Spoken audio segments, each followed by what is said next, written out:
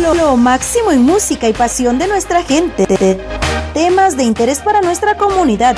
Mucha diversión solo aquí en Pasiones Latinas Radio TV.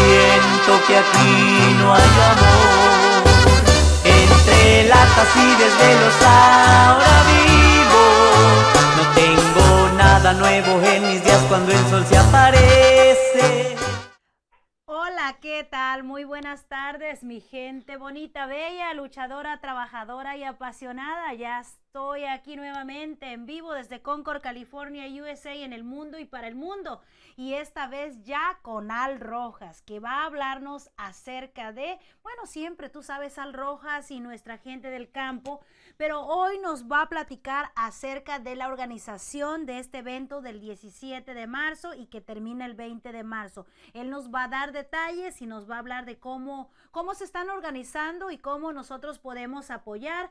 Claro, también el teléfono está abierto 925-349-4173. En este momento también te estoy haciendo una publicación allí en las redes sociales por si quieres preguntar, si quieres comentar, tienes algo que agregar, eh, no sé, alguna pregunta en conformidad para Al Rojas, por favor, llama al 925-349-4173. Recuerda que estoy en vivo desde Concord, California, USA, en el mundo y para el mundo. Soy tu servidora y amiga Elizabeth Bautista.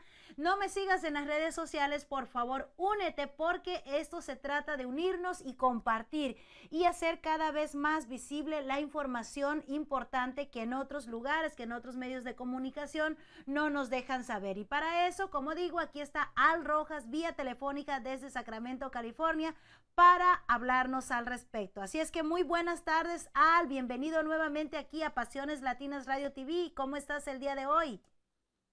Pues gracias a Dios aquí estamos y también gracias a ti por darnos este espacio y también a los radioescuchas que nos están escuchando, ojalá y que puedan eh, tanto compartir uno con otro, porque además eh, muchas veces hay preguntas que yo quisiera que, como hayas exponido ahorita, invitar al público que pueda dar esas preguntas, a ver si podemos responderlas. Además, tengo el gusto, como siempre, de estar aquí en esta red de medio social, que pues muy importantísimo para poder hablar con todos ustedes sobre los temas que más nos afectan en las comunidades nuestras. Y también la importancia de organizarnos y estar organizados en nuestras comunidades autónomas de las bases, porque todo lo que pasa en esta comunidad, en este estado o país, nos viene afectando por la falta de participación en un proceso eh, social en lo comunitario. Y además por ahí viene también lo de la política y también por los derechos laborales, derechos de civiles y derechos humanos. Además, ahorita nomás quiero explicar que ninguno de nosotros recibimos ningún dinero como empleo para andar haciendo estas cosas. Y créanme que, pues, muchos dirán, pues, ¿cómo le hacen? Pues lo hacemos por muchos no lo hablo yo por mí, lo hablo por tal de que es el corazón del pueblo. Y eso viene a que podemos eh, ser contacto con personas en sus hogares y platicar con uno y otro y escuchar. Mucha la gente que anda con nosotros es juventud, que a propósito también gente ya de mayor de edad o personas que están trabajando todavía en su tiempo voluntariamente han dado este esfuerzo. Y así se hizo en todos los movimientos, se ha hecho con esa participación de, de la comunidad. Nosotros no recibimos nada, absolutamente nada de ninguna corporación y ningún programa de gobierno, ni de federal, ni estatal, ni menos fundaciones. Todo nuestro dinero que viene de donaciones viene de los sindicatos y algunos compañeros que voluntariamente dan sus recursos. Mucho lo que hacemos es levantar ese recurso financiero que hace falta para enviárselo a los compañeros y compañeras jornaleras, jornaleros allá en San Quintín y también igualmente lo que están haciendo por, allá, por otros eh, estados como el estado de Washington, que ellos también están haciendo lo mismo en el estado, tratando de levantar recursos para seguir la lucha, porque la lucha es pesada, ¿no? Y todo esto, este trabajo viene de los corazones de la gente que está directamente impactada y también los estudiantes y los demás que estamos en apoyo de esto, de la esclavitud, este, de condiciones miserables y todas las cosas que hemos hablado eh, sobre lo que pasa con nuestra comunidad, siempre golpeada, siempre golpeándonos, tanto allá en México, tanto como acá en este país. Pero si no nos paramos, nos hemos de valer y nos organizamos y estamos unidos, no nos pueden hacer nada. Y por esa razón creo que viene esto, porque nos viene este movimiento conectando con uno y otro. por esa razón te damos muchas las gracias a ti, Elizabeth, que es una mujer linda y dulce, con mucho cariño que tenemos todos a ti. ¿okay? Muchas gracias a ti, Al, porque, ah, porque tú tomas tiempo eh, de tu valioso tiempo, un espacio en tu valioso tiempo para compartir con nosotros. Y algo muy importante que, que comentaste y que quiero recalcar para toda nuestra gente es que, que ustedes no están ganando nada. Eh, por hacer este movimiento, ustedes solamente lo están haciendo por ese amor, y por ese dolor que se siente al ver y al saber eh, todas las, podría decir yo, las atrocidades que, vive nuestra gente, como tú lo has dicho, en el Valle de San Quintín y en muchos otros lugares. Y todo eh, por unos cuantos pesos, todo eh, porque ahí están los opresores encima de nosotros, encima de ellos. Entonces es momento de, levantar nuestra voz. Así es que muchas gracias a Al y también a toda la gente que contigo está en la lucha como dices tú, esos jóvenes trabajadores, eh, esa gente que viene de los surcos, me encantó esa palabra al que usaste tú y que también eh, usó el secretario general del sindicato. Eh, que por cierto acá tengo, tengo imágenes del Sindicato Independiente Nacional Democrático de Jornaleros Agrícolas. Muy importante que, que, nuestra gente sepa que este sindicato está compuesto, así como tú lo dices y como lo dice él, por gente que viene del surco, gente que sabe lo que es vivir allí, lo que es el sufrimiento, lo que es esa lucha diaria. Adelante, Al, por favor.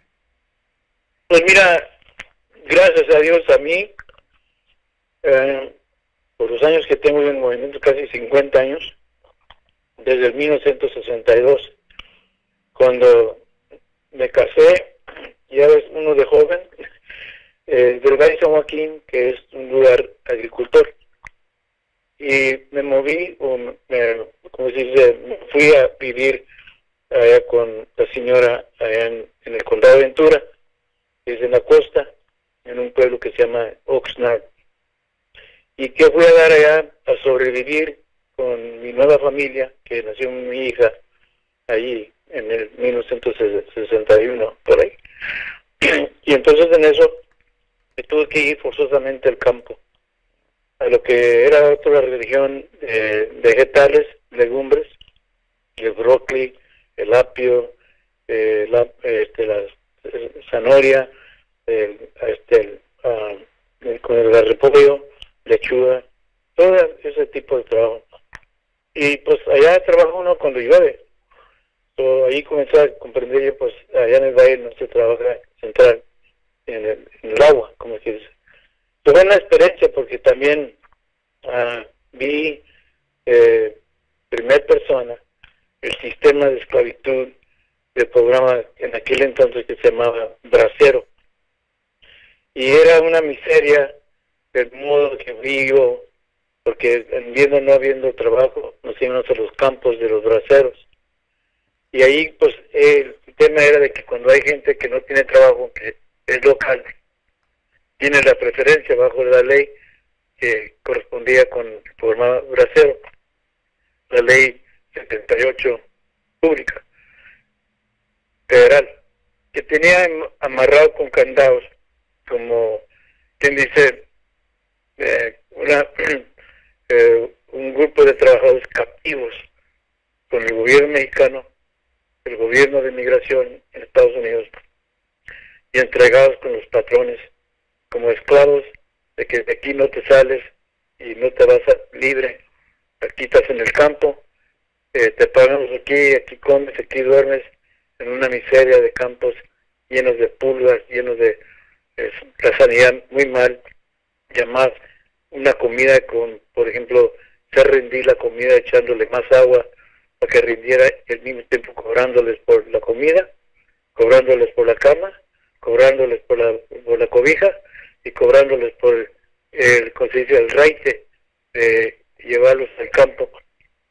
Y además cuando llegaba, pues ya ves, cansado, tenían la, a propósito el contratista tenía la tiendita ahí vendiendo cerveza, vino, dulces, cositas así, papas fritas, lo que sea, para estar sacándole a la gente, o latas de sardinas, o lo que sea. Y muchas veces los cobros eran altísimos. Al fin de todo, cuando eh, se le daban su, semanal de su eh, sueldo, pues muchas veces salía que casi salía como que él, él le debía más a la tiendita que ni y al patrón que ni lo que estaba ganando para enviar para México. So, cosas así. So, a esto nos vemos de que ahora, por mi parte, yo me jubilé después de que yo trabajé en, organizando trabajadores del campo, eh, que se nombran jornaleros y jornaleros los campesinos aquí en California.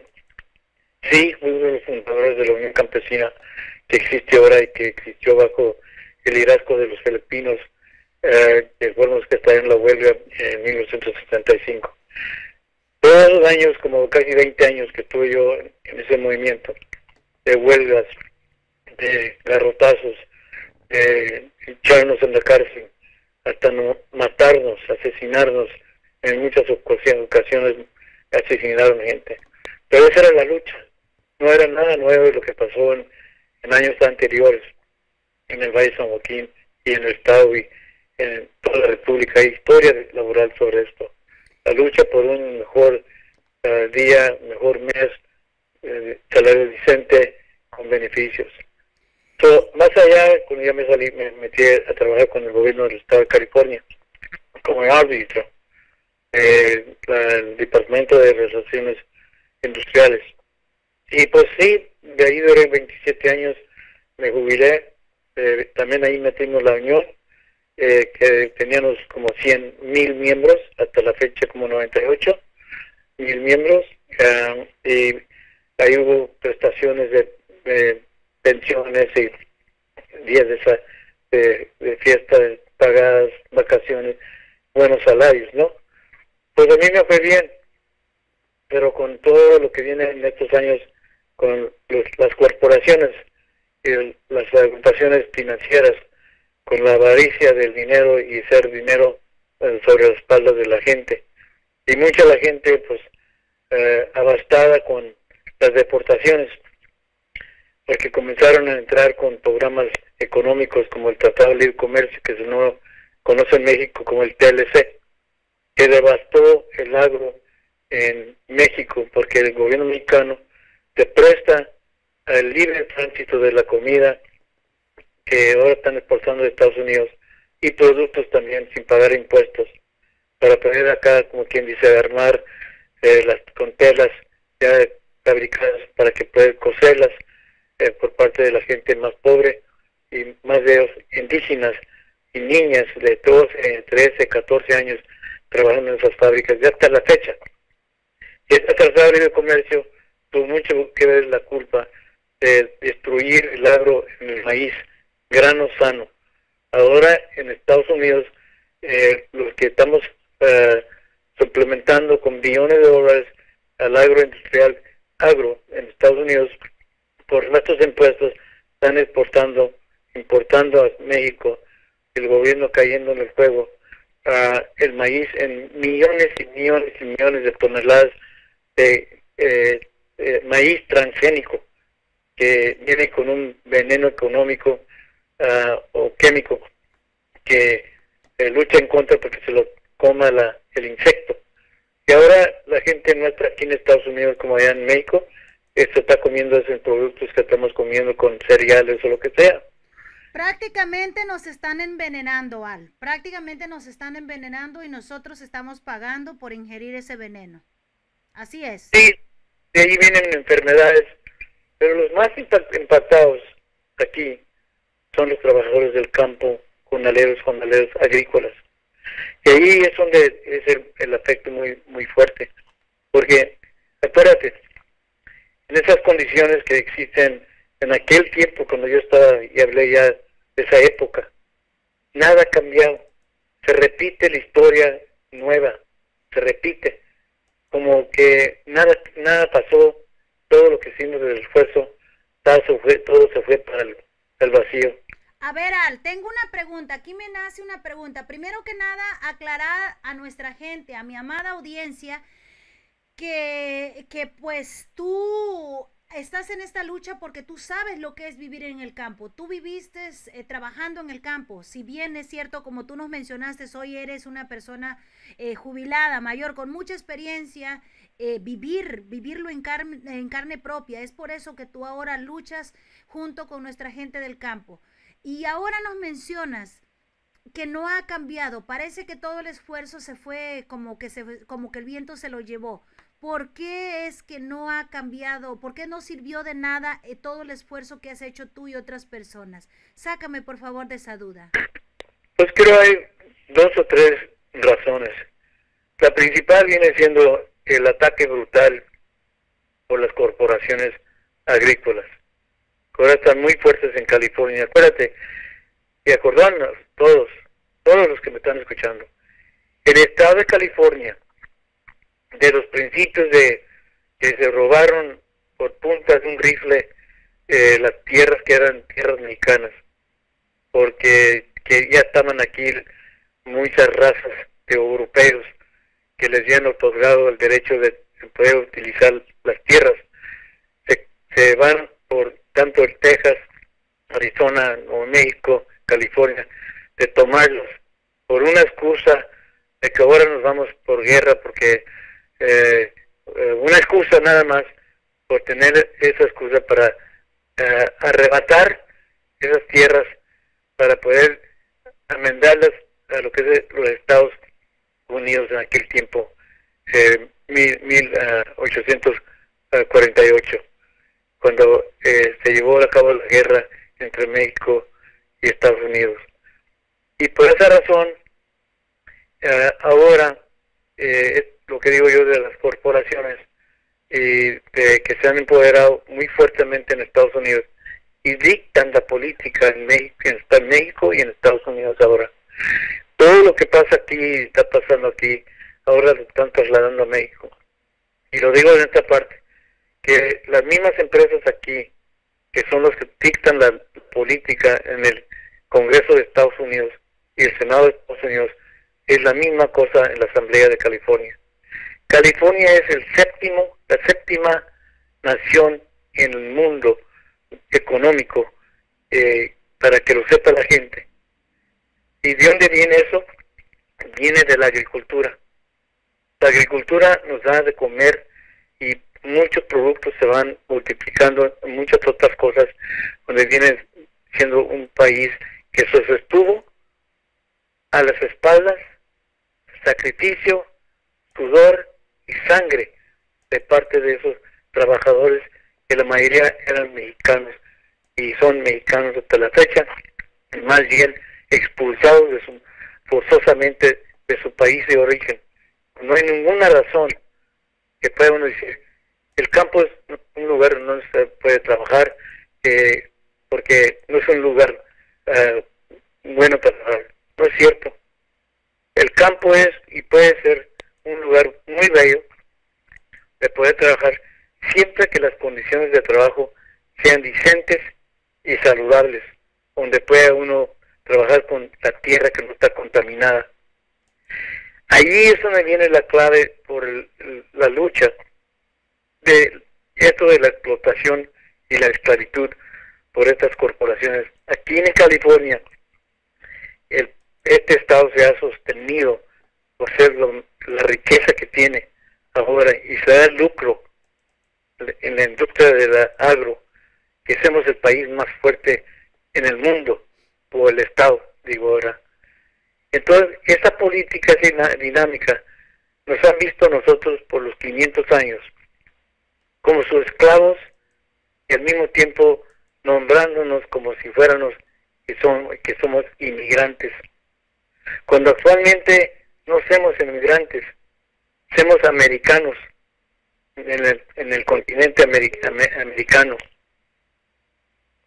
Y eso es, viene a la razón por qué estamos como estamos. Y me regreso a, a eso de la otra fuerza que viene aquí. En nuestro pueblo hace falta despertar a nuestra gente, luchar. Porque muchas veces cuando vemos a una persona que vienen por él o vienen por su familia, no nos ponemos a pensar, cuando vengan por ellos y vengan por él, vienen por mí. Y eso es la causa. No puede ser aceptable que nuestra gente linda, trabajadora y muy capaz de tener técnicas en la agro, en la agricultura, que no se le pueda dar su mérito de poder decir, sabemos, cómo cultivar, cómo ser ingeniera de la tierra, cómo nivelarla, cómo regarla, qué, hacer para que nazca el fruto de ese, ese fruto para vivir.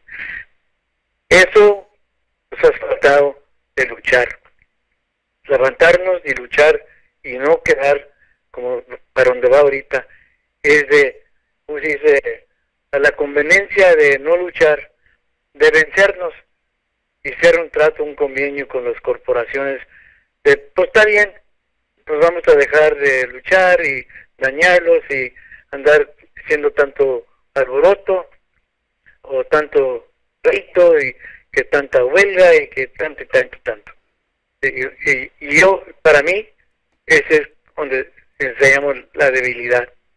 De, porque en este país se luchó para poder sobrevivir, no nomás los agricultores, pero también todos los eh, trabajadores en todas las industrias. Y es por eso que en esas industrias se ha luchado cada día primero de mayo, en, no en este país, que antes era en este país, eh, en México, se, se, se marchan cien miles y miles de trabajadores de distintos rambos, de profesiones de trabajo, de jornaleros, jornaleras, tanto del el campesino que trabaja en la milpa, tanto como uno que es electricista o es albañil. Pero ellos se recuerdan de la lucha del 1898, cuando en Chicago se, se, reconoce eh, la, lucha por, por, los derechos de las ocho horas.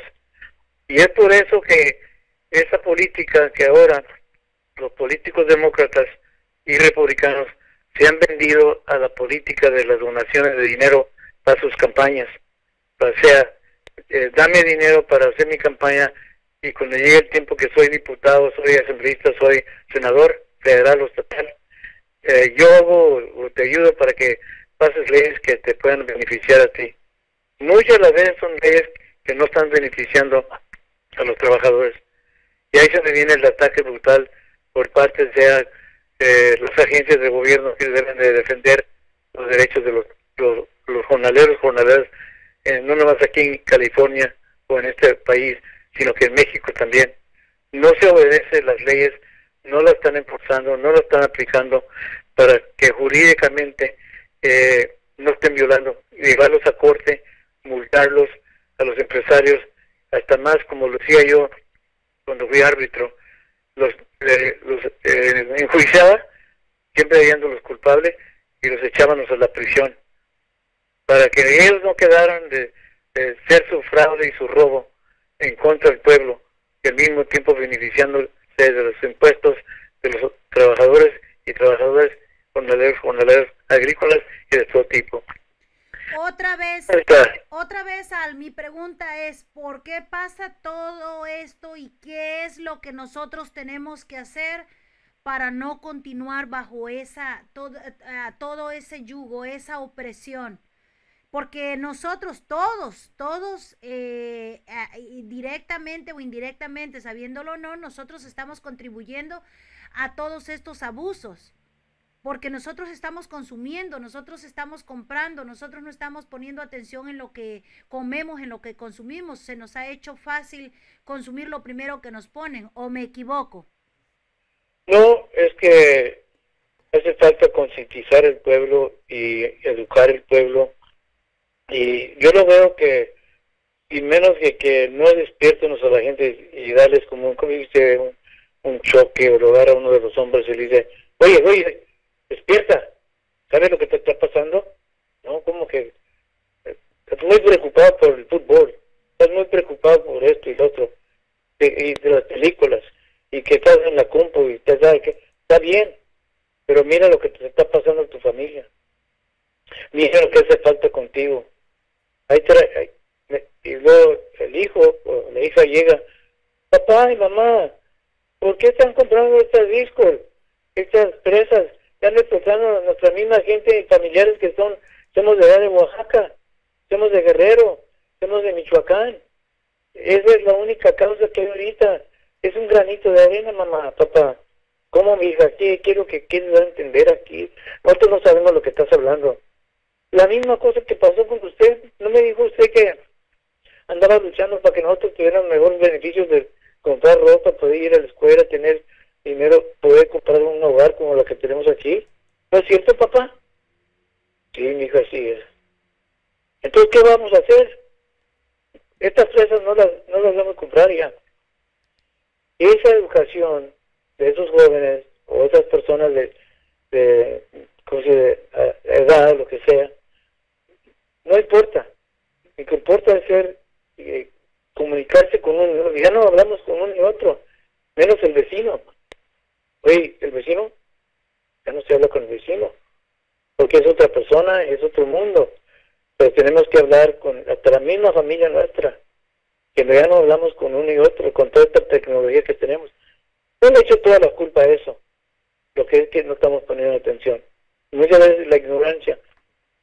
Estamos viendo todo este odio que está saliendo por esto de las elecciones de eh, presidencia. Eso no es, como si eso no es una cosa nueva.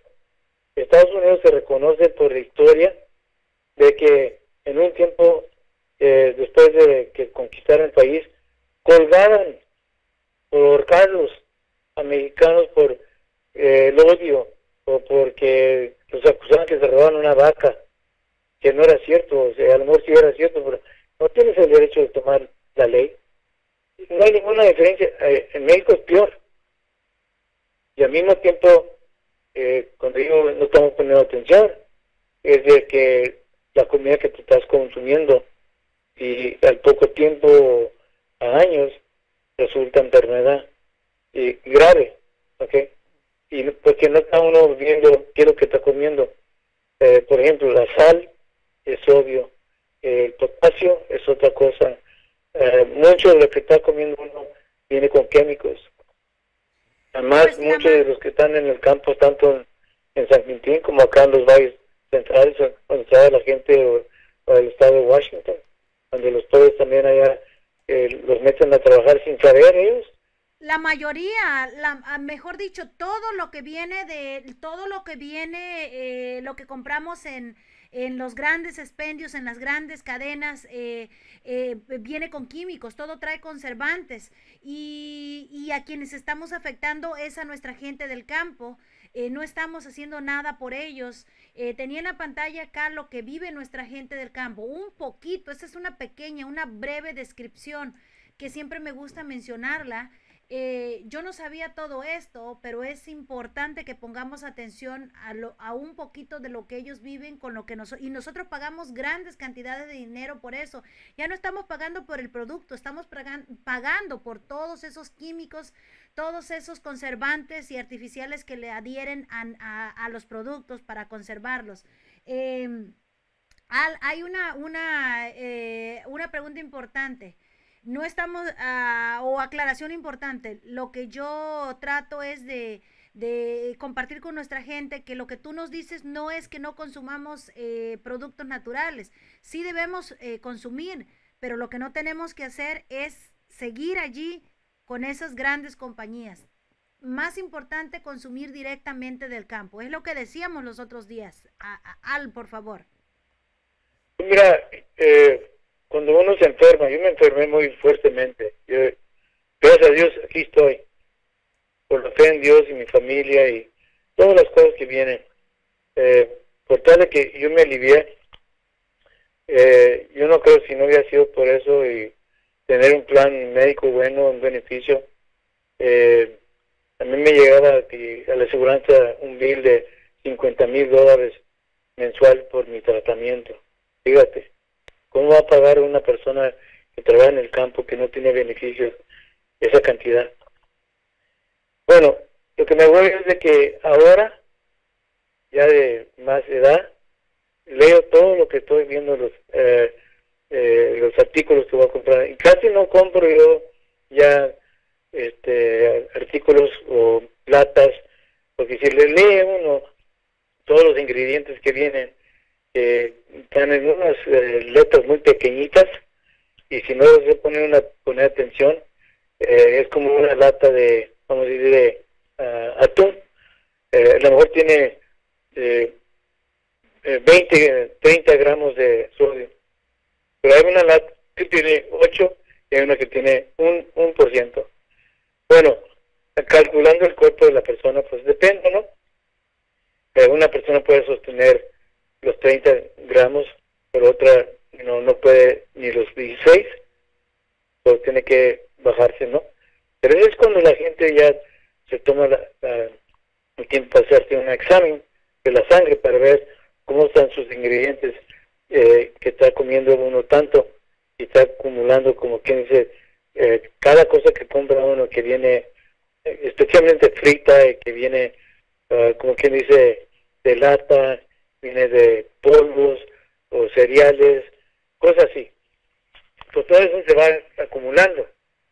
Pero lo que quiero entender es que tenemos que ser conscientes que es lo que estamos comiendo. Eh, y eso individualmente cada quien tiene el derecho de decir, pues voy yo como lo que me da la gana, a mí no me importa. Bueno, está bien.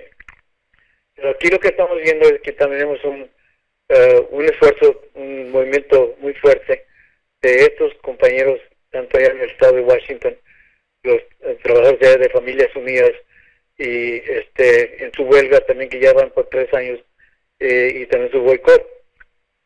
Y al mismo tiempo eh, es un rancho pequeño, como unos 500, 500 trabajadores o jornaleros, jornaleros no, es pequeño, es, es grande.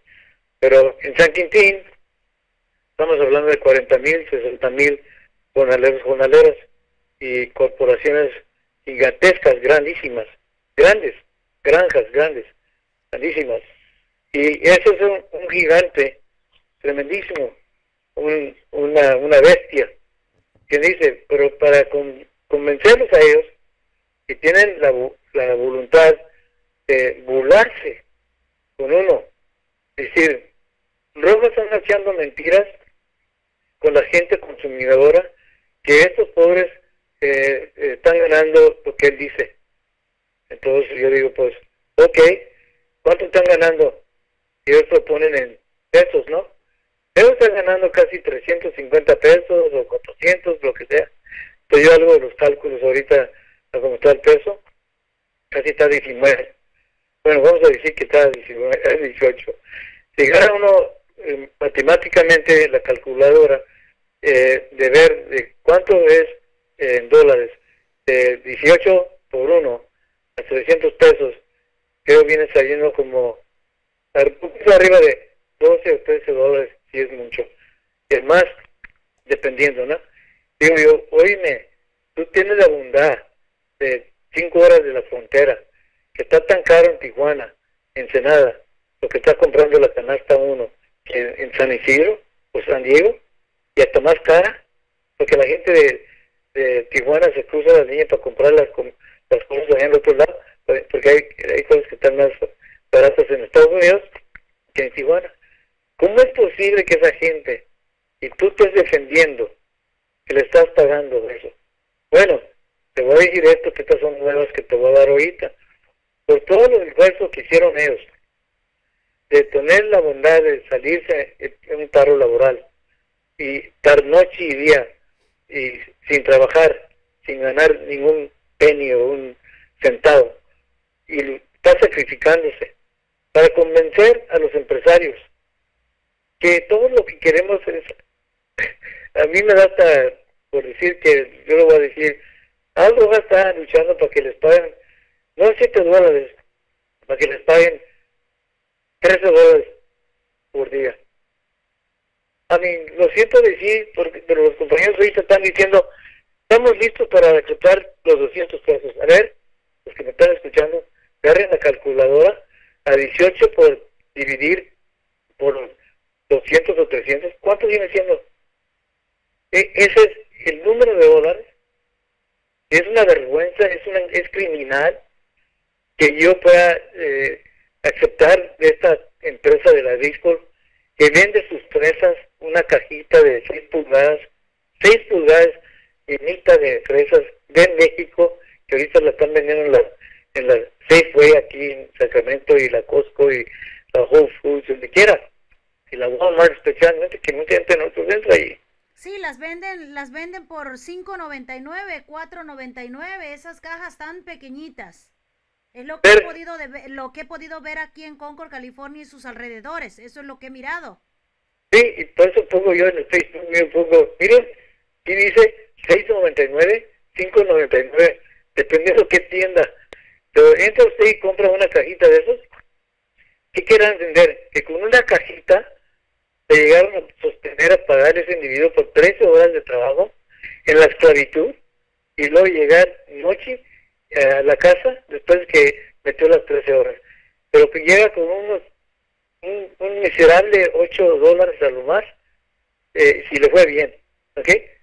Eso es justo y que eh, la empresa de disco diga, no, está echando mentiras Al Rojas que este, no, mira, el derecho de Al Rojas es consumidor, pero también es representante del, de la organización laboral el Consejo Laboral por el Progreso Latinoamericano, AFL-CIO. ¿okay? Porque se vienen a amenazarnos a nosotros, con ganas, ¿eh? Pero también no pueden amenazarnos mucho, por tal de que todos los consumidores tienen el derecho de decir, yo compro o no compro, ese es mi derecho. Si no te parece, bien contigo, pero hay que se quede su producto y se pudra, porque mi gente no puedo sostener me los voy a comer, aunque me tenga que comer lo demás, que viene de lo mismo. ¿Ok? Bueno, ahí es donde está la lucha de poder decir que ahorita me llamaron a la mañana, eh, estudiantes de Mexicali, estudiantes de Tecate, estudiantes de Ensenada, estudiantes de Tijuana. Queremos hacer algo, compañero. ¿Qué, qué es lo que podemos hacer? Bueno, júntense todos, hacemos un Skype para hablar y, y eh, contestarles las preguntas y poder responder cómo pueden hacer lo que pueden hacer. Y les voy a dar más o menos la información, pero cada quien en su propio lugar autónomo va a hacer su propio comité y van a incluir a toda la gente que quieran para comenzar esa de palabra a palabra que lo que está pasando. ¿Qué está pasando? Pues con esta marcha que viene, el día 17, y yo y otras compañeras vamos a ir, y otros compañeros vamos a estar allá, Dios quiera, en San Quintín, cuando comienza el primer día que se estalla la marcha por eh, las dos Californias. A ver, eh, Al, me encanta que, que, tocas ese tema acerca de la marcha de las dos Californias, eh, esta marcha eh, del 17 de marzo. Eh, también apareció otra información que si me permites voy a poner acá en la pantalla. Eh, que compartió la maestra Gloria Gracida, a quien mando un saludo muy especial a ella y a todos los compañeros. Eh, tengo aquí, uh, tengo aquí esta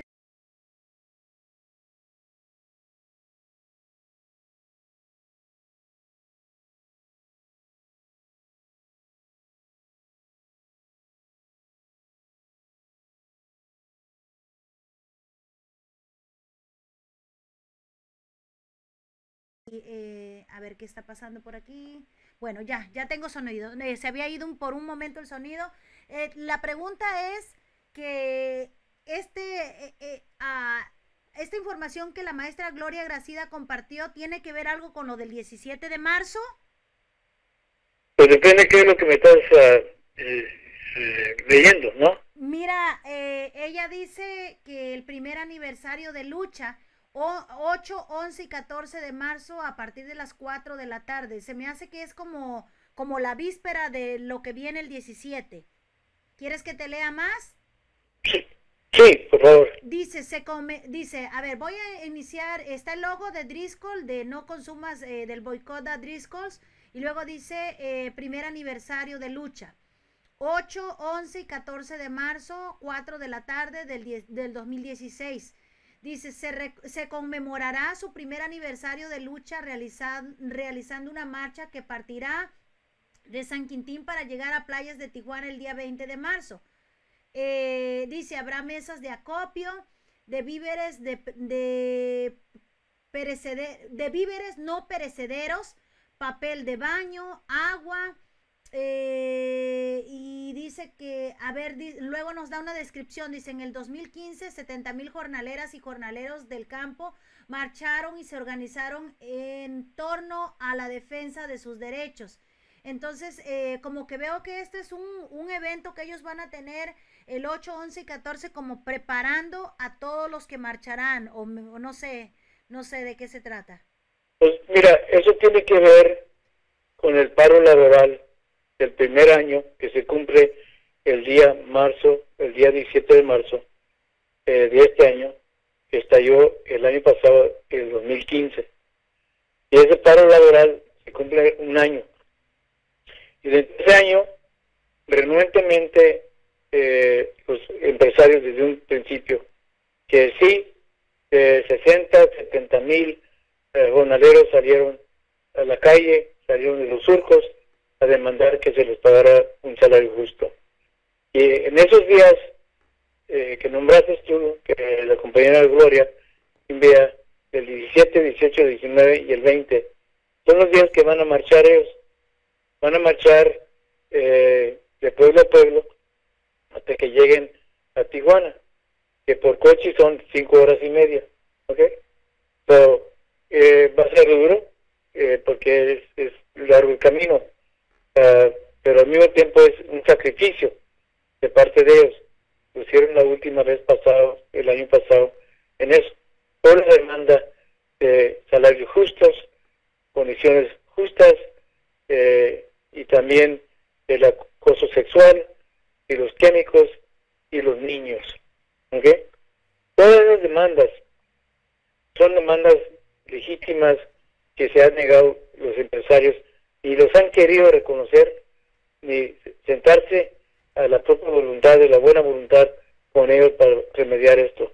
Ahí se me sale eh, lo que yo digo, mi rebeldía, como muchos de los demás, tanto allá en, San Quintín como de allá en Washington, el estado de Washington, con los trabajadores allá del Sindicato de Familias Unidas, y también nosotros acá en lo que es la batalla del boicot, de la presión económica pero esa, esa marcha va a ser un símbolo de lucha y sacrificio para poder extender esa información y irse pueblo, pueblo para que la gente no tanto en, en Baja California como en México, porque desde México han enviado un saludo fraternal y en solidaridad con ellos y van a venir gente de sindicatos muy importantes y otros sindicatos de Estados Unidos que van a estar ahí el primer día para poder llevar a cabo, eh, eh, encaminarlos a ellos que no están solas y no están solos y que esa marcha eh, es eh, de reconocer todo el sacrificio de ellos. Fíjate, ¿cómo es posible que nosotros vamos a aceptar que en toda la brutalidad de parte del Estado de Baja California, por parte del gobernador del Estado, de ver enviado también eh, la ayuda del gobierno federal con policías y hasta más de traerles una tanqueta para llegar a las temprano a la mañana, cinco y media, seis de la mañana, a tumbar puertas por una excusa que me han dicho que se supone o se dice un rumor que van a quemar una, un edificio.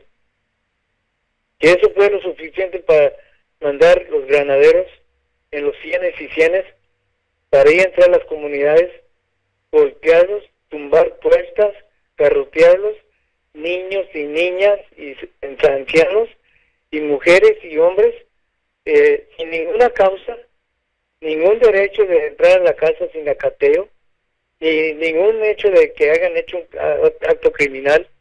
Esa es una brutalidad criminal de parte del gobierno del, estado de Baja California, tanto como lo hace el gobierno federal. Ese sacrificio lo tomó que más de 300, un pormenor, eh, fueron baleados con balas de goma, que les abrieron, los hirieron a como esa cantidad.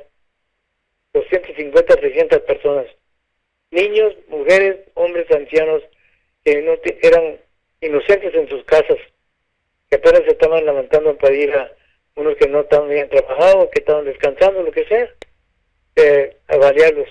Y los niños asustadísimos, y las mujeres a gritos, peleando para atrás diciendo, no, ¿qué negocio tienen golpeando a mi hija y, sacándonos de las casas? Estamos aquí, ¿a quién hicimos algo? Bueno, más eh, arrestaron, detuvieron a casi esa cantidad de 300 que los tuvieron en la cárcel. Acusados por vandalismo o lo que sea, con, sabemos bien que en México se sabe muy bien de los halcones, que el mismo gobierno los manda para ver que hagan destrozos, para que le pueda llegar la televisión y tomar y decir, mira cómo son destrozosos violentos. Pero si alguien llega a mi casa, comienza a golpear a mi señora, pues yo voy a tratar de defender a mi señora y mis hijos, mis hijas, ¿no? Pues eso pasó esa mañana. Y al mismo tiempo ellos no estaban armados. Aquellos sí venían bien armados. Y venían para golpear y eh, casi como quieren matar también. Porque una bala le pegas a una persona de goma que sea, puedes matarlo. Entonces digo yo, ¿dónde está la justicia aquí? Esa marcha que vienen ellos, viene mucho como quien dice, el respeto de muchos jornaleros que trataron de inculcar ese miedo para poder acabar con la, con la huelga y al mismo tiempo todavía negándose. Y, y las Riscos, Rancho Los Pinos y la Berry Mex tratando de limpiarse las manos. ¿Ahora qué hacen? A verse bien con toda esta presión que está surgiendo ahora con la marcha, eh, la conmemoración de, de un año de, de lucha, ¿eh? ¿eh?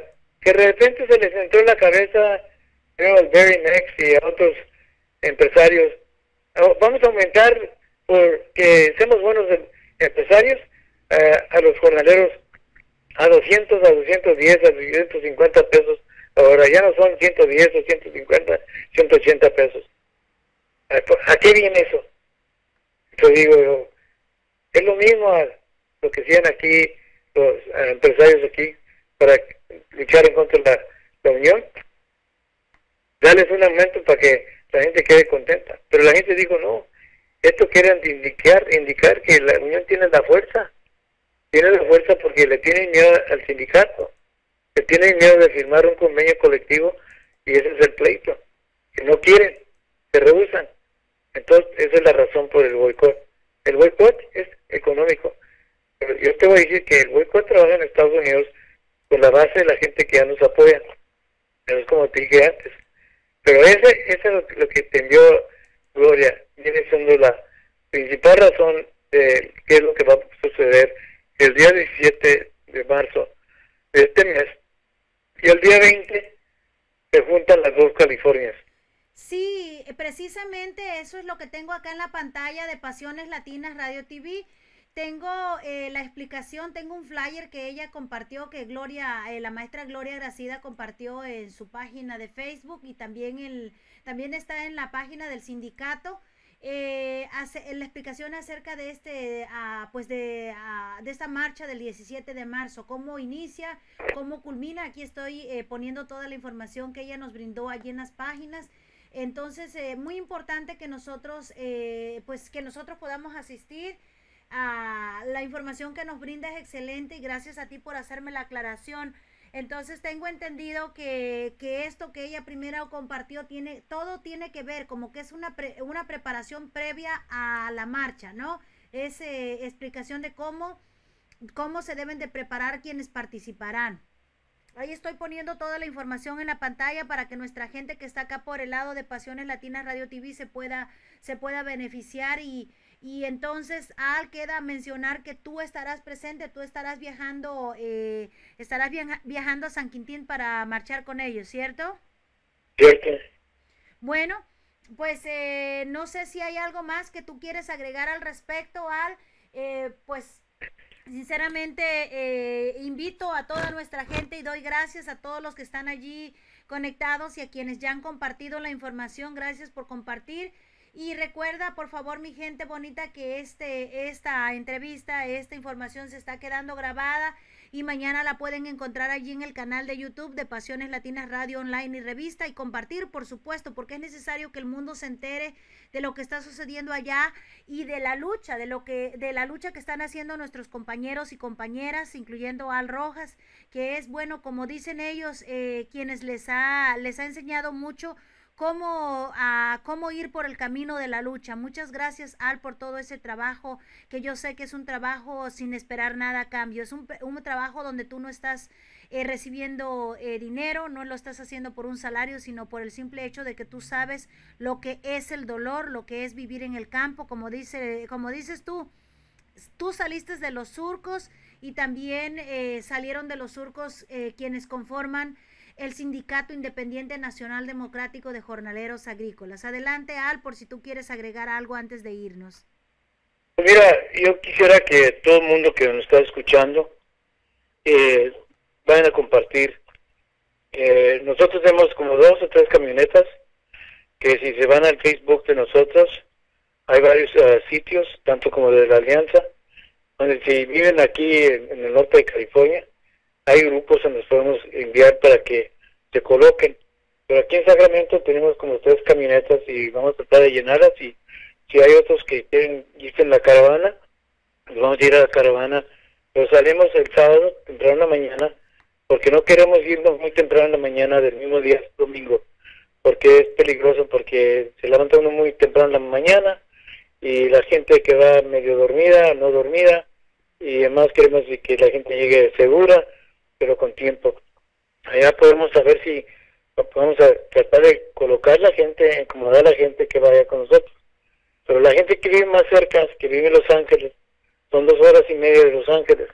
La gente que vive en San Diego, tenemos muchos compañeros ahí en San Diego, compañeras que pueden trasladarse ese día. Eh, tenemos en el Facebook la información, uh, dónde va a ser el lugar para que puedan llegar propiamente al lugar a la hora que es indicada, porque tenemos que ser puntuales, porque ahí en ese lugar eh, está controlado por el gobierno federal y también por el, Estado de California. Y tenemos limitado el tiempo que podemos estar allí, pero nos podemos ajustar también, podemos irnos más allá donde no estamos en el lugar de... Eh, y, vamos a cuidar, vamos a tener seguridad, ya hemos hablado con de inmigración, que que al mismo tiempo asegurándonos que eh, todo está controlado, todo está bien, ¿ok? Pero al mismo tiempo nosotros mismos vamos a controlar esto. Pero la otra cosa que quiero decir es que en ningún momento queremos eh, que se vaya, como quien dice, abriendo la brecha de la diferencia entre uno y otro. Eh, somos un pueblo, somos el mismo pueblo, pero lo que necesitamos más es comunicarnos unos a los otros y no eh, dejarse uno de comunicar y al mismo tiempo hablar y, y estar con el mismo mensaje, ¿no?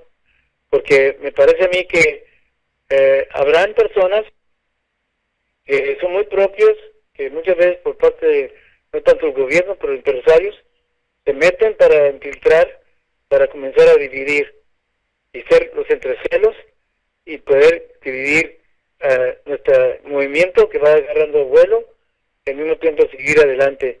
Pero en todo esto hay un, como quien te dice, uh, un protocolo. Aquí nos respetamos cada quien en su propia autonomía en cada pueblo. Y hay respeto de respetar, cuando uno entra a un pueblo, respeta a esos pueblos con anticipación para que haya esa unidad y no haya mal entendimiento, que muchas veces así lo hace personas equivocadas, pero que el boicot no, no trabaja de un capataz, trabaja un boicot con muchos comités autónomos que están trabajando en común, en, en unidad entre uno y otro.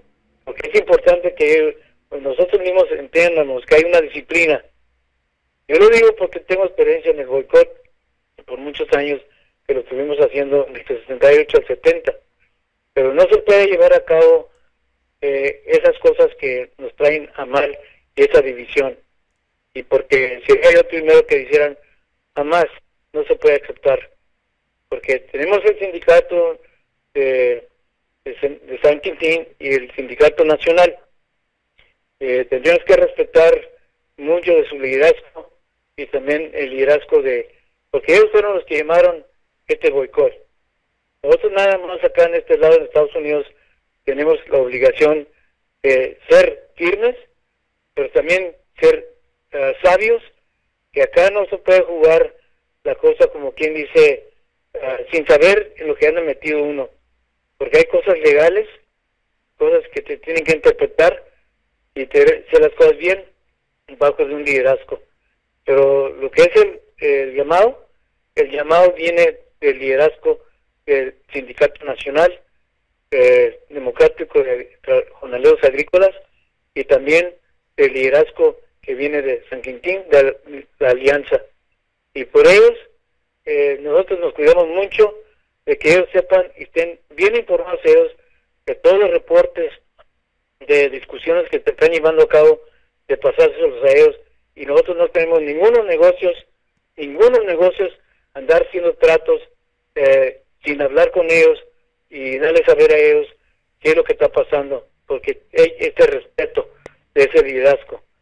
Eh, tanto uno como un sindicato a otro, o organización que se diga aquí les dejo yo, pero este, con mucho agradecimiento, este trabajo es muy duro y muchas horas, y muchas horas de trabajar noche y andar para arriba abajo, y no es un juego, esto es en serio, y esto no se puede tomar menos de que ese respeto, ¿ok? Aquí lo dejo y eh, muchísimas gracias a ti por todo esto, lo que has hecho tú por abrirnos este espacio y aquí no, no, entra el odio, la avaricia, no entra nada menos que el amor, la unidad y el trabajo de poder trabajar unidos, juntos y ser muy abiertos con uno y otro en comunicarse con uno y otro. No tener agendas escondidas, pero abrir el espacio de poder comunicar esa, esa comunidad que hace falta integrar y concientizar, porque el poder está en el pueblo, no están eh, una persona, dos o tres personas que se tratan de ver, como si con el movimiento. Yo no soy el movimiento, yo no soy el movimiento, es el pueblo, es esa juventud que está en Tijuana, aquí en Sacramento, Fresno, en el estado de Washington, donde sea, en México también. So, salud, gracias y por todo eh, el espacio a ti, eh, compañera, linda mujer, esta Elizabeth, Gracias a ti, Al, de verdad, muchísimas gracias. Eh, y bueno, de acuerdo contigo en todo lo que dijiste. Es una, una marcha pasiva eh, y no dejarnos intimidar, no creernos porque hay, hay gente que se mete con malas intenciones, hay infiltrados. Muy importante esa información que nos diste, Al. Muchísimas gracias. Y bueno, ahí estamos todavía eh, en la lucha. Ahí continuamos y seguimos en contacto. Que tengas excelente tarde tú y todos los compañeros en diferentes partes del mundo. Hasta pronto. Gracias, un abrazo fuertísimo. Igualmente, gracias. Adiós. Bueno, mi gente bonita, ya escuchaste eh, detalles muy importantes, información muy importante que nos acaba de brindar nuestro compañero Al Rojas vía telefónica desde Sacramento, California. Yo soy tu servidora Elizabeth Bautista y ya me voy de la pantalla solamente aquí para decirte, sí, Nuevamente gracias por haber estado conmigo pendiente y presente, ya lo sabes, en vivo desde Concord, California, USA en el mundo y para el mundo.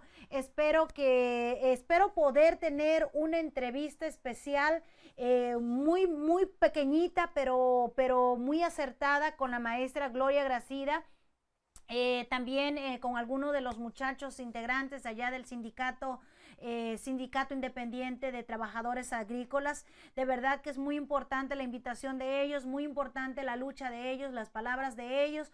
Por hoy tuvimos a Al Rojas que nos estuvo dando detalles y bueno, pareciera ser o bueno, puede ser que somos repetitivos, pero en realidad lo que se trata es de repetir cada vez más esta información porque necesitamos el apoyo, necesitamos despertar mentes y corazones, crear conciencia y empezar a trabajar en esta lucha. Así es que bueno, muchas gracias mi gente bonita.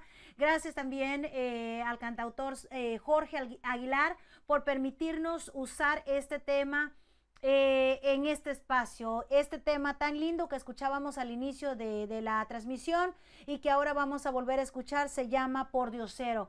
Y bueno, creo que, que, dice algo, algo que tiene que ver con nuestra gente que vive allá caminando, que vive trabajando eh, bajo, bajo la, el inmenso sol, bajo el frío, padeciendo hambres, padeciendo maltrato y es por eso que ellos se han levantado en esta lucha y es por eso que se conmemora este 17 de marzo, ya lo sabes, a partir del 17 de marzo culminando el 20 de marzo. Así es que bueno, ahí están los detalles, los tuvimos con Al Rojas y vamos a seguir teniendo más información en las redes sociales y aquí en www.pasioneslatinasradiotv.com y recuerda que siempre nos llevas en la palma de tu mano, en la palma de tu mano mediante la aplicación Ustream en tu teléfono o tableta. Ya me voy, gracias por haberme acompañado el día de hoy. Sigue por favor en sintonía, en compañía de la buena música de nuestros nuevos talentos. Aquí siete días a la semana, casi 24 horas al día, mediante www.pasioneslatinasradiotv.com. Sé muy feliz solamente por hoy y recuerda que aquí está prohibido rendirse.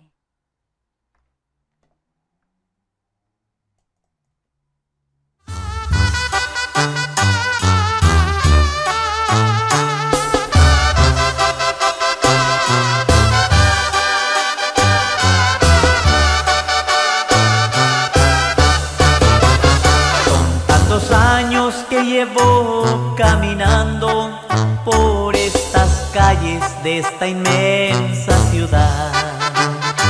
He aguantado vientos y heladas, desvelos y aguaceros y tantas cosas más. Solo Dios sabe cuánto deseo yo a mi pueblo un día regresar. Pero hoy se consume como un pordiosero en esta ciudad. Yo vengo de un pueblo humilde donde no hay dinero, pero sí hay amor.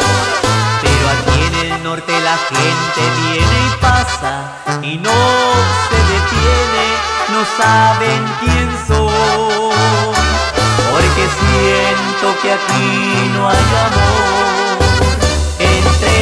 Entre latas y desvelos ahora vivo, no tengo nada nuevo en mis días cuando el sol se aparece. Y por las tardes me invade el miedo las nubes pasajeras, no tengo un hogar donde yo pueda llegar.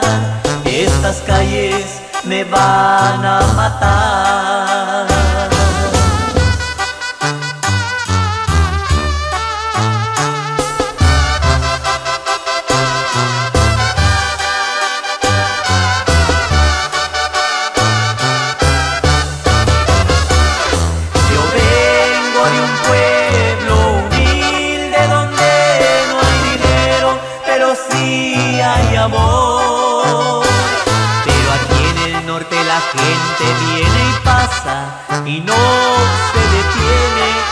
Saben quién soy.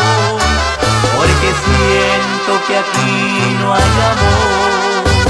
Entre latas y desvelos ahora vivo. No tengo nada nuevo en mis días cuando el sol se aparece. Y por las tardes me invade el miedo las nubes pasajeras. No tengo un hogar donde yo pueda llegar. Estas calles me van a matar.